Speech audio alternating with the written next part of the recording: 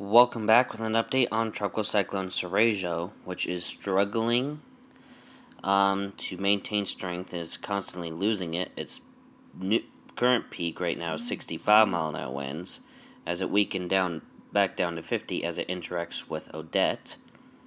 Um, is expected to go back up to 65 mile an hour winds though, 75, 90. Still looking at triple digit wind speeds as it goes into Australia. 60 mile an hour winds there and remnants with 45 mile an hour winds going on the other end of Australia. Um, honestly, depending on the angle, cannot rule out a landfall in Perth. Um, this here, I believe, is Perth. Yep. Cannot rule out a possible landfall in Perth if this moves a little bit to the west. So, from there, satellite imagery. So here we go. Um, so there's Odette, Odette to the north, Seroja to the south.